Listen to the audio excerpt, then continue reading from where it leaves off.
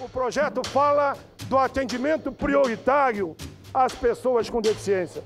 Fala do direito à vida, habilitação, reabilitação, no atendimento à saúde, na educação, fala da moradia, fala do direito ao trabalho, da assistência social, transporte e mobilidade. Aprovado por unanimidade. Lei, na verdade, se chama o Estatuto da Pessoa com Deficiência.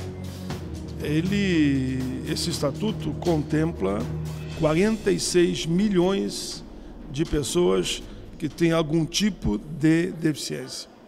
O estatuto ele avança na cidadania das pessoas com deficiência. O estatuto ele trata das questões relacionadas à sensibilidade, à saúde, à educação, ao trabalho, é, trata também do combate aos preconceitos, à discriminação contra a pessoa com deficiência e cria um novo conceito, um conceito de integração total.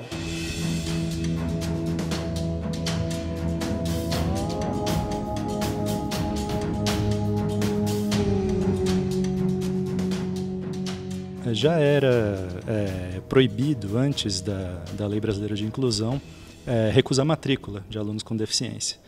Mas a lei reforçou essa ideia e também proibiu a cobrança por serviços de, de apoio é, que o aluno com deficiência precise no estabelecimento de ensino. Isso foi questionado no, no Supremo Tribunal Federal, mas o Supremo confirmou essa regra. Então, hoje as escolas é, são obrigadas a esses espaços inclusivos, receber os estudantes com deficiência e dar toda a estrutura que eles precisem para ser atendidos. As escolas não podem mais discriminar os alunos com deficiência. A principal dificuldade que eu tive na escola é eles entenderem que meu filho, apesar de ter um grau de autismo severo, precisava de um acompanhamento terapêutico lá dentro, que era fundamental, principalmente na, na idade mais tenra, que é 3, 4 anos. Quanto mais intervenção, quanto mais estimulação essas crianças tiverem, melhor para elas. Hoje a gente ainda tem uma cultura de muita exclusão e as escolas não estão realmente preparadas, via de regra, para receber todos os alunos com necessidades educacionais especiais, sejam deficiências ou, por exemplo, superdotação. Também precisa de um treinamento, de uma especialização nisso.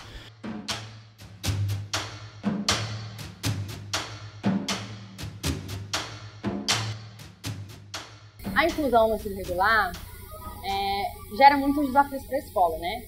O trabalho diferenciado é muito importante, o olhar diferenciado sobre esse aluno, entender que ele ele tem uma dificuldade, ele tem uma limitação, mas ele também tem uma potencialidade. E como que eu posso trabalhar isso com ele? Né? Como que a escola como um todo pode fazer isso?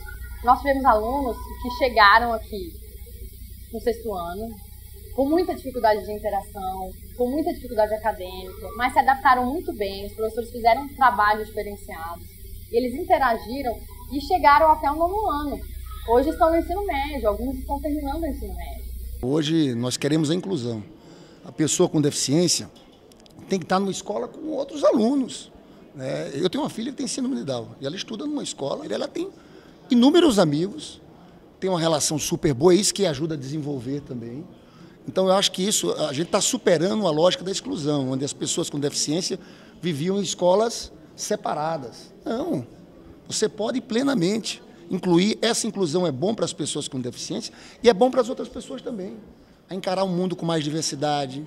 Né? Todos ganham com a inclusão.